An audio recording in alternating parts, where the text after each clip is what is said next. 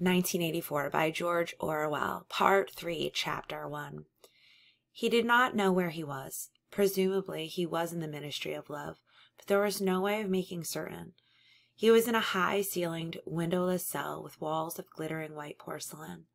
Concealed lamps flooded it with cold light, and there was a low, steady humming sound, which he supposed had something to do with air supply.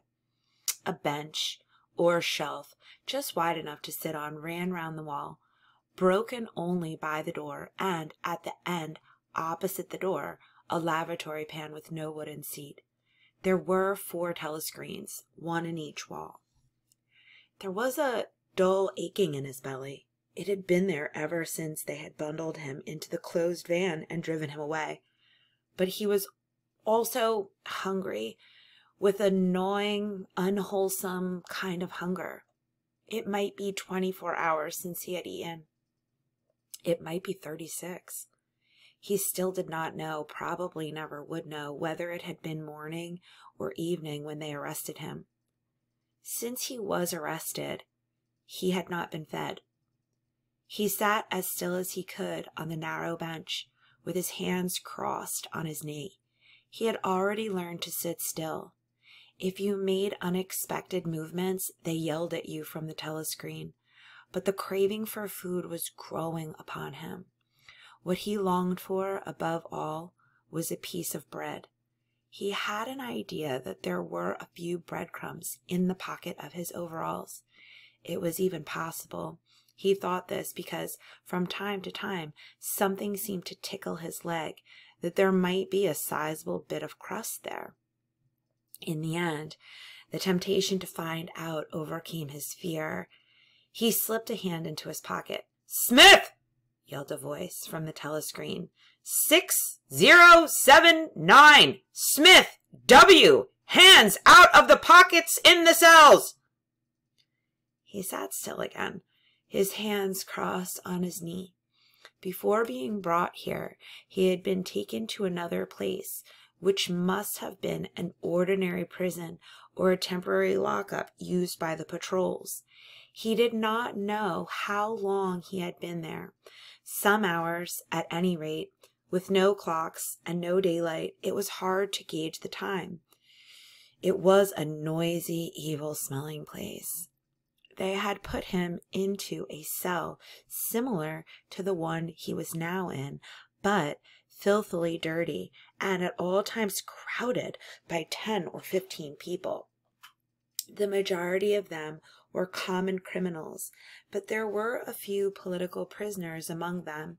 He sat silent against the wall, jostled by dirty bodies, too preoccupied by fear and the pain in his belly to take much interest in his surroundings, but still noticing the astonishing difference in demeanor between the party prisoners and the others. The party prisoners were always silent and terrified, but the ordinary criminals seemed to care nothing for anybody.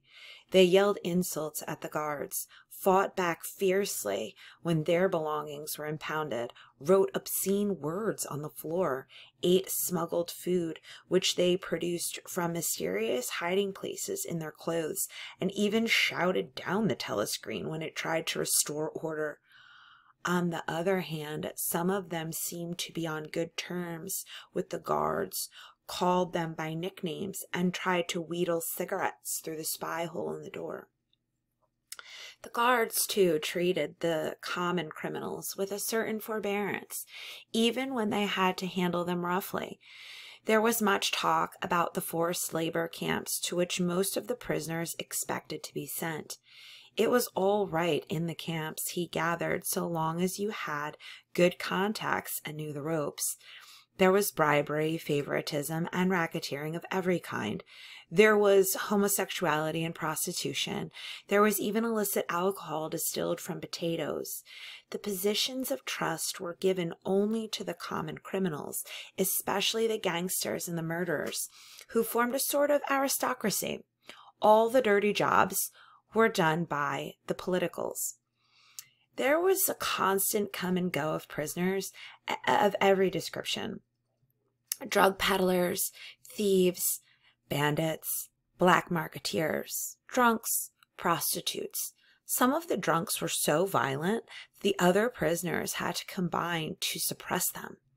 An enormous wreck of a woman, aged about sixty, with great tumbling breasts and thick coils of white hair which had come down in her struggles, was carried in, kicking and shouting, by four guards who had hold of her, one at each corner. They wrenched off the boots with which she had been trying to kick them and dumped her down across Winston's lap, almost breaking his thigh bones. The woman hoisted herself upright and followed them out with a yell of effing bastards. Then, noticing that she was sitting, sitting on something uneven, she slid off Winston's knees onto the bench. Beg pardon, dearie, she said. I wouldn't have sat on you. Only the buggers put me there. They don't know how to treat a lady, do they? She paused, patted her breast, and belched. Pardon, she said. I hate myself quite. She leant forward and vomited copiously on the floor. That's better, she said, leaning back with closed eyes. Never keep it down, that's what I say. Get it up while it's fresh on your stomach like. She revived, turning to have another look at Winston, and seemed immediately to take a fancy to him. She put a vast round arm arm round his shoulder and drew him towards her, breathing beer and vomit into his face. What's your name, dearie? she said. Smith, said Winston. Smith, said the woman. That's funny. My name's Smith, too. Why, she added sentimentally, I might be your mother. She might, thought Winston, be his mother. She was about the right age and physique, and it was probable that people changed somewhat after 20 years in a forced labor camp. No one else had spoken to him. To a surprising extent, the ordinary criminals ignored the party prisoners, the polits, they called them, with a sort of uninterested contempt. The party prisoners seemed terrified of speaking to anybody, and above all, of speaking to one another. Only once, when two party members, both women, were pressed close together on the bench, he overheard amid the din of voices a few hurriedly whispered words, and in particular a reference to something called Room 101, which he did not understand. It might be two or three hours ago that they had brought him here. The dull pain in his belly never went away, but sometimes it grew better and sometimes worse, and his thoughts expanded or contracted accordingly. When it grew worse, he thought only of the pain itself and of his desire for food. When it grew better, panic took hold of him. There were moments when he first saw the things that would happen to him with such actuality that his heart galloped and his breath stopped. He felt the smash of truncheons on his elbows and the iron shod boots on his shins. He saw himself groveling on the floor, screaming for mercy through broken teeth he hardly thought of Julia. He could not fix his mind on her. He loved her and would not betray her, but that was only a fact, known as he knew the rules of arithmetic. He felt no love for her, and he hardly even wondered what was happening to her. He thought oftener of O'Brien with a flickering hope. O'Brien might know that he had been arrested. The Brotherhood he had said, never tried to save its members. But there was the razor blade. They would perhaps send the razor blade if they could. There would be perhaps five seconds before the guard could rush into the cell. The blade would bite into him with a sort of burning coldness, and even the fingers that held it would be cut to the bone. Everything came back to his sick body, which shrank, trembling from the smallest pain. He was not certain that he would use the razor blade even if he got the chance. It was more natural to exist from moment to moment, accepting another 10 minutes life, even with the certainty that there was torture at the end of it. Sometimes he tried to calculate the number of porcelain bricks in the walls of the cell. It should have been easy, but he always lost count at some point or another. More often, he wondered where he was and what time of day it was. At one moment, he felt certain that it was broad daylight outside, and the next equally certain that it was pitch darkness. In this place, he knew instinctively the lights would never be turned out. It was the place with no darkness. He saw now why O'Brien had seemed to recognize the illusion. In the ministry of love, there were no windows. His cell might be at the heart of the building or against its outer wall. It might be 10 floors below ground or 30 above it. He moved himself mentally from place to place and tried to determine by the feeling of his body whether he was perched high in the air or buried deep underground. There was a sound of marching boots outside. The steel door opened with a clang. A young officer, a trim black, uniformed figure who seemed to glitter all over with polished leather, and whose pale, straight featured face was like a wax mask, stepped smartly through the doorway. He motioned to the guards outside to bring in the prisoner they were leading. The poet, Ampleforth, shambled into the cell. The door clanged shut again.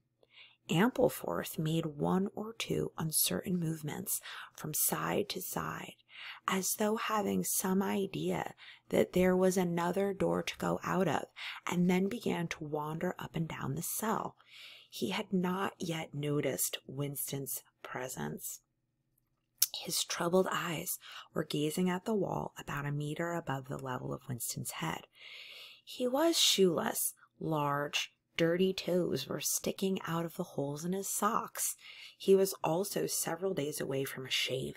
A scrubby beard covered his face to the cheekbones, giving him an air of ruffianism that went oddly with his large, weak frame and nervous movements. Winston roused himself with a little from his um, Winston roused himself a little from his lethargy.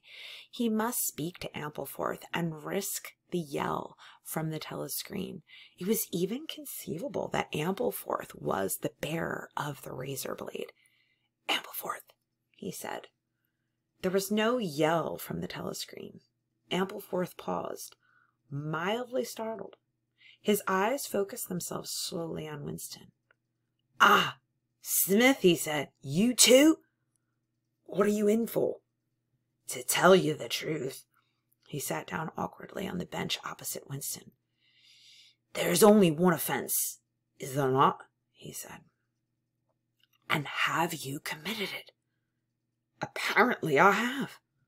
He put a hand to his forehead and pressed his temples for a moment, as though trying to remember something. These things happen, he began vaguely. I have been able to recall one instance, a possible instance. It was an indiscretion, undoubtedly.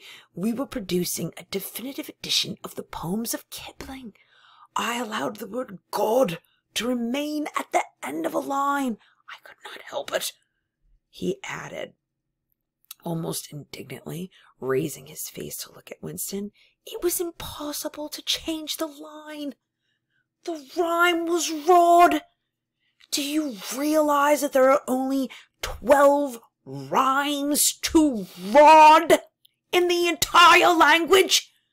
For days I had racked my brains. There was no other rhyme. The expression on his face changed. The annoyance passed out of it, and for a moment he looked almost pleased. A sort of intellectual warmth, the joy of the pedant who has found out some useless fact shown through the dirt and scrubby hair. Has it ever occurred to you, he said, The whole history of English poetry has been determined by the fact that the English language lacks rhymes? No. That particular thought had never occurred to Winston, nor, in the circumstances, did it strike him as a very important thing or interesting. Do you know what time of day it is? he said. Ampleforth looked startled again. I hardly thought about it. They arrested me. Could be two days ago, perhaps three. His eyes flitted round the walls as though he half expected to find a window somewhere. There's no difference between night and day in this place. I do not see how one can calculate the time. They talked desultorily for some ten minutes. Then, without apparent reason, a yell from the telescreen bade them be silent. Winston sat quietly, his hands crossed. Ampleforth, too large to sit in comfort on the narrow bench, fidgeted from side to side, clasping his lank hands first round one knee, then round the other. The telescreen barked at him to keep still. Time passed. Twenty minutes, an hour. It was difficult to judge. One more, there was a so uh, once more, there was a sound of boots outside. Winston's entrails contracted. Soon, very soon, perhaps in five minutes, perhaps now, the tramp of boots would mean that his own turn had come. The door opened. The cold faced young officer stepped into the cell. With a brief movement of the hand, he indicated Ampleforth. Room 101, he said. Ampleforth marched clumsily out between the guards, his face vaguely perturbed but uncomprehending. What seemed like a long time passed. The pain in Winston's belly had revived. His mind sagged round and round on the same trick, like a ball fa- falling again and again into the same series of slots.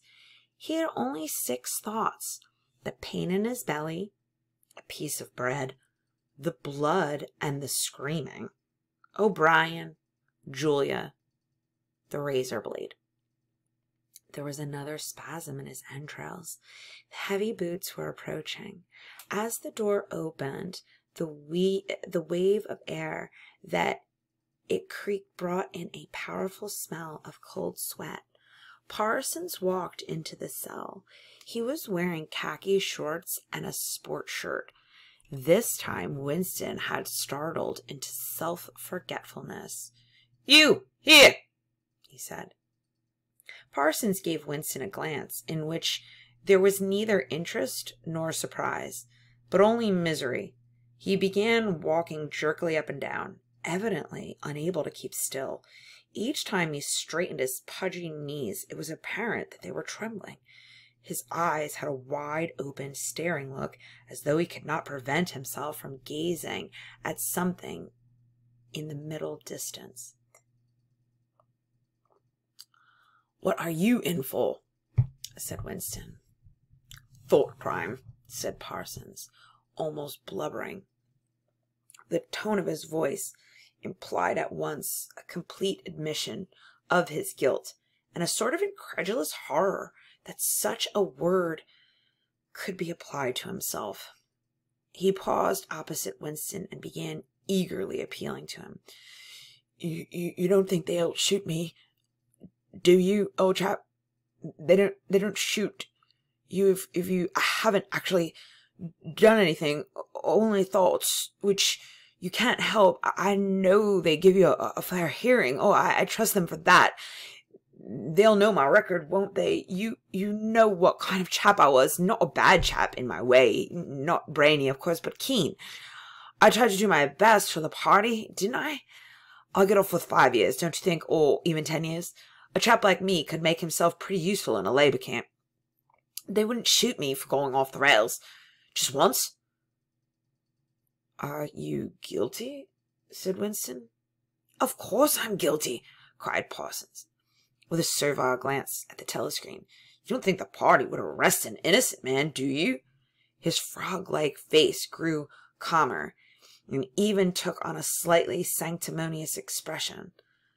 Thought crime is a dreadful thing, old man, he said sententiously. It's insidious. It can get hold of you without your even knowing it. Do you know how it got hold of me? In my sleep. Yes, that's a fact. There I was, working away, trying to do my bit, never knew I had any bad stuff in my mind at all, and then I started talking in my sleep. Do you know what they heard me saying? He sank his voice, like someone who is obliged, for medical reasons, to utter an obscenity. Down with Big Brother! Yes, I said that! Said it over and over again, it seems. Between you and me, old man, I'm glad they got me before it went any further. Do you know what I'm going to say to them when I go up before the tribunal? Thank you, I'm going to say. Thank you for saving me before it was too late. Who denounced you? said Winston. It was my little daughter, said Parsons, with a sort of doleful pride. She listened at the keyhole, heard exactly what I was saying, and nipped off to the patrols the very next day. Pretty smart for a nipper of seven, eh? I don't bear her any grudge for it. In fact, I'm proud of her. Shows I brought her up in the right spirit, anyway. He made a few more jerky movements up and down several times, casting a longing glance at the lavatory pan. Then he suddenly ripped down his shorts. Excuse me, old man, he said. I can't help it. It's it's the waiting. He plumped his large poster into a lavatory pan. Winston covered his face with his hands. Smith! yelled the voice from the telescreen. Six zero seven nine Smith W. Uncover your face! No faces covered in the cells! Winston uncovered his face. Parsons used the lavatory loudly and abundantly. It then turned out that the plug was defective and the cell stank abominably for hours afterwards. Parsons was removed. More prisoners came and went mysteriously. One, a woman, was consigned to room 101 and Winston noticed seemed to shrivel and turn different color when she heard the words. Time came when, if it had been morning when he was brought here, it would be afternoon, or if it had been afternoon, then it would be midnight. There were six prisoners in the cell, men and women. All sat very still. Opposite Winston, there sat a man with a chinless, toothless face, exactly like that of some large, harmless rodent. His fat, mottled cheeks were so pouched at the bottom that it was difficult not to believe that he had little stores of food tucked away there. His pale gray eyes flitted timorously from face to face and turned quickly again when he caught anyone's eye. The door opened and another prisoner was brought in, whose appearance sent a momentary chill through Winston. He was a commonplace, mean-looking man who might have been an engineer or a technician of some kind. But what was startling was the emaciation of his face. It was like a skull. Because of its thinness, the mouth and eyes looked disproportionately large and the eyes seemed filled with a murderous, unappeasable hatred of somebody or something. The man sat down on the bench at a little distance from Winston. Winston did not look at him again, but the tormented skull-like face was as vivid in his mind as though it had been straight in front of his eyes. Suddenly he realized what was the matter. The man was dying of starvation. The same thought seemed to occur almost simultaneously to everyone in the cell. There was a very faint stirring all the way round the bench. The eyes of the chinless man kept flitting towards the skull-faced man, then turning guiltily away, then being dragged back by an irresistible attraction. Presently, he began to fidget on his seat. At last he stood up waddled clumsily across the cell, dug down into the pocket of his overalls, and, with an abashed air, held out a grimy piece of bread to the skull faced man. There was a furious, deafening roar from the telescreen. The chinless man jumped from his tracks. The skull faced man had quickly thrust his hands behind his back as though demonstrating to all the world that he refused the gift. Bumstead! roared the voice. Two, seven, one, three, Bumstead, J, let fall that piece of bread. The chinless man dropped the piece of bread on the floor. Remain standing where you are, said the voice. Face the door. Make no movement. The chinless man obeyed. His large, pouchy cheeks were quivering uncontrollably. The door clanged open. As the young officer entered and stepped aside, there emerged from behind him a short, stumpy guard with enormous arms and shoulders.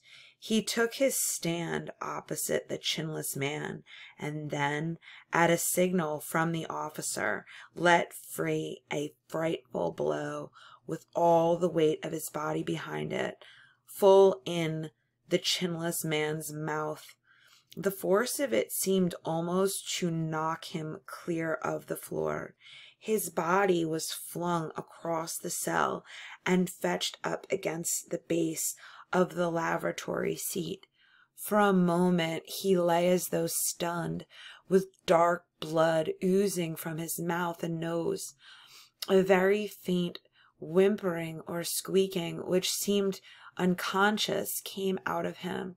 And then he rolled over and raised himself unsteadily on hands and knees. Amid a stream of blood and saliva, the two halves of a dental plate fell out of his mouth. The prisoners sat very still, their hands crossed on their knees. The chinless man climbed back into his place. Down one side of his flesh face the flesh was darkening. His mouth had swollen into a shapeless cherry-colored mass with a black hole in the middle of it. From time to time, a little blood dripped onto the breast of his overalls. His gray eyes still flitted from face to face, more guiltily than ever, as though he were trying to discover how much the others despised him for his humiliation. The door opened. With a small gesture, the officer indicated the skull faced man. Room 101, he said.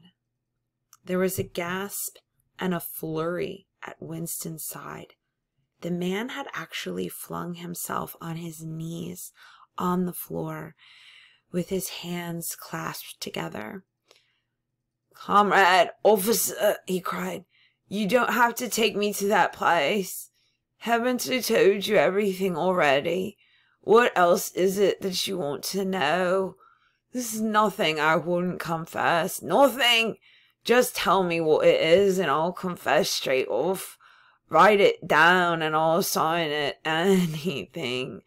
Not room 101. Room 101, said the officer.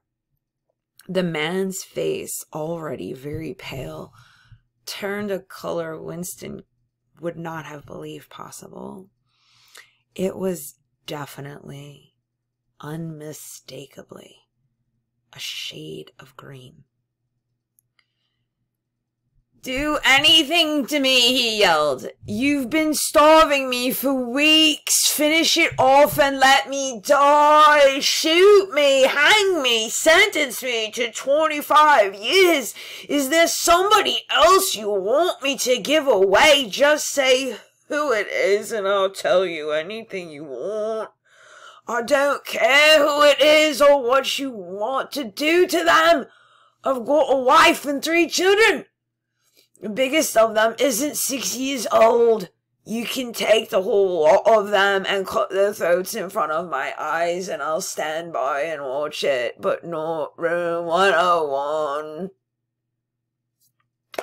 Room 101, said the officer. The man looked frantically around at the other prisoners as though with some idea that he could not that he could put another victim in his own place. His eyes settled on the smashed face of the chinless man. He flung out a lean arm. That's the one you ought to be taking, not me, he shouted. You didn't hear what he was saying after they bashed his face. Give me a chance and I'll tell you every word of it. He's the one that's against the party, not me. The guard stepped forward. The man's voice rose to a shriek. In him! He repeated. Something went wrong with the telescreen. He's the one you want. Take him, not me. The two sturdy guards had stooped to take him by the arms. But just at this moment, he flung himself across the floor of the cell and grabbed one of the iron legs that supported the bench. He had set up a wordless howling like an animal. The guards took hold of him to wrench him loose, but he clung on with astonishing strength. For perhaps 20 seconds, they were hauling at him. The prisoner sat quiet, their hands crossed on their knees, looking straight in front of him. The howling stopped. The man had no breath left for anything except hanging on. Then there was a different kind of cry. A kick from a guard's boot had broken the fingers of one of his hands. They dragged him to his feet. Room 101, said the officer. The man was led out, walking unsteadily, with head sunken, nursing his crushed hand. All the fight had gone out of him. A long time passed. If it had been midnight when the skull faced man was taken away, it was morning. If morning, it was afternoon. Winston was alone and had been alone for hours. The pain of sitting on the narrow bench was such that often he got up and walked about, unreproved by the telescreen. The piece of bread still lay where the chinless man had dropped it. At the beginning, it needed a hard effort not to look at it, but presently hunger gave way to thirst. His mouth was sticky and evil tasting. The humming sound and the unvarying white light induced a sort of faintness, an empty feeling inside his head. He would get up because the ache in his bones was no longer bearable, and then would sit down again almost at once because he was too dizzy to make sure of staying on his feet. Whenever his physical sensations were a little under control, the terror returned. Sometimes, with a fading hope, he thought of O'Brien and the razor blade. It was thinking that the razor blade might arrive, concealed in his food, if he were ever fed. More dimly he thought of Julia. Somewhere or other she was suffering, perhaps far worse than he. She might be screaming with pain. At this moment, he thought, if I could save Julia by doubling my own pain, would I do it? Yes, I would. But that was merely an intellectual um, an intellectual decision taken because he knew that he ought to take it. He did not feel it. In this place you could not feel anything except pain and foreknowledge of pain. Besides, was it possible when you were actually suffering it to wish for any reason that your own pain should increase? But that question was not answerable yet. The boots were approaching again. The door opened. O'Brien came in. Winston started to his feet. The shock of the sight had driven all caution out of him. For the first time in many years, He forgot the presence of the telescreen. They got you too, he cried. They got me a long time ago, said O'Brien, with a mild, almost regretful irony. He stepped aside. From behind him, there emerged a broad chested guard with a long black truncheon in his hand. You know this Winston? said O'Brien. Don't deceive yourself. You did know it. You've always known it. Yes, he saw now.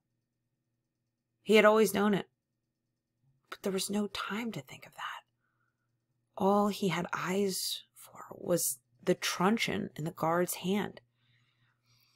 It might fall anywhere on the crown, on the tip of the ear, on the upper arm, on the elbow. The elbow!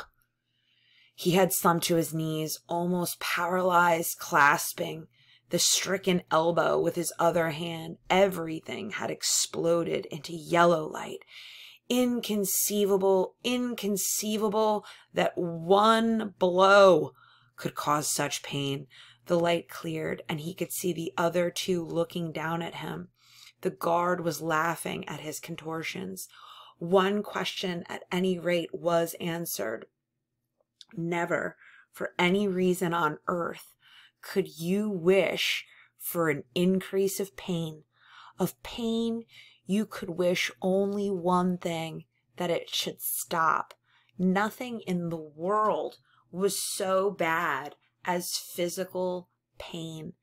In the face of pain, there are no heroes, no heroes, he thought over and over as he writhed on the floor, clutching uselessly at his disabled left arm.